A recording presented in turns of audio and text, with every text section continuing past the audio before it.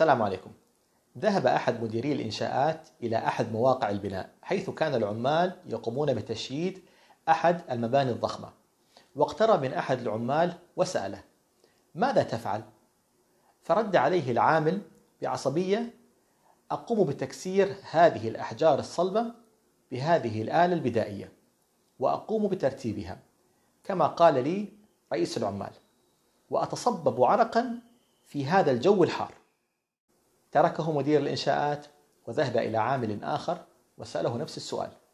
فكان رد العامل الثاني أنا أقوم بتشكيل هذه الأحجار إلى قطع يمكن استعمالها وبعد ذلك تجمع هذه الأحجار حسب تخطيطات الخاصة بالمهندس المختص بالمشروع وهو عمل متعب وأحيانا يصيبني بالملل ولكني أكسب منه قوتي أنا وزوجتي وأولادي.